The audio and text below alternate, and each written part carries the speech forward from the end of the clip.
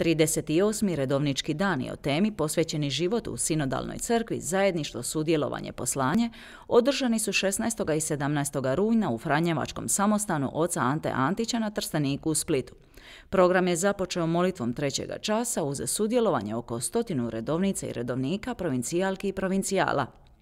Uvodni pozdrav u ime Povjerenstva za trajnu formaciju redovnika i redovnica u Republici Hrvatskoj uputio je Framilan Krišto, provincijalni ministar Hrvatske Franjevačke provincije Svetoga Čirila i Metoda. Organiziramo jednogodišnje ove takozvane redovničke dane, koliko je moguće većim centrima ali Hrvatske i tako evo želimo se formirati, informirati, nekako stvarati jedno zajedništvo, uvijek rasti u tom iskustvu zajedništva cijele crkve. Tema izazovna, evo sinodalni hod, posvećeni život u sinodalnom hodu, crkva je sva u jednom hodu, razmišljanju, promišljanju, pa evo promišljamo svoje mjesto u crkvi, svoj doprinos i baš ono vratiti se na korijene svoga poslanja. Nazočnima se potom obratio generalni vikar Splitsko-Makarske nadbiskupije Don Franjo Franko Panvelić.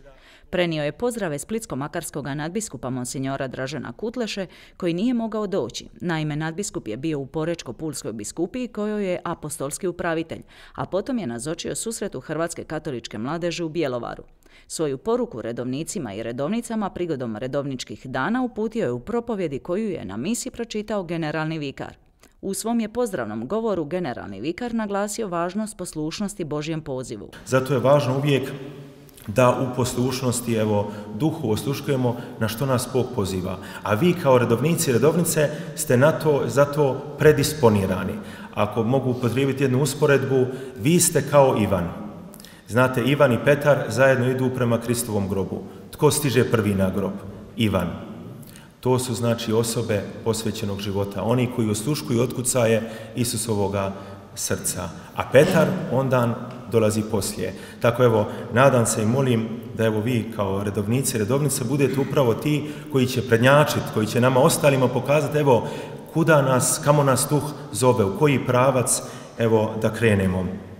Tako i svako od vas ima svoju specifičnu karizmu, možda nekad o karizmama razmišljamo kao nečemu što nas dijeli, što nas razlikuje, ali zapravo znamo svaka karizma je dana na korist crkve, na obogaćenje. Prvo predavanje o temi redovnici i redovnice u procesu sinode o sinodalnosti u crkvi održao je profesor dr. Donediljko Ante Ančić. Ja sam najprije nastojao malo e, skicirati sadašnju situaciju epohalnih promjena u crkvi, u svijetu, najprije onda u crkvi, zatim sam se osvrnuo na te promjene u hrvatskom društvu i u našoj domaćoj crkvi.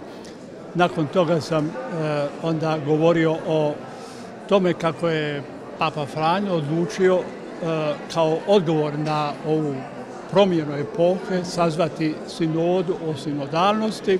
Osvrnuo sam se i na to kako smo do sada sudjelovali u djecezonskoj fazi te sinode i nakon toga sam se zaustavio malo na tome što redovnici i redovnice mogu učiniti evo, u e, ovom sinodskom procesu. E, govorio sam o izazovima i napastima koje treba izbjeći i o zahtjevima koje treba prihvatiti da bismo sudjelovali u ovim nastojanjima oko obnove crkve i reforme crkve i obnove i reforme e, naših redovničkih ustanova.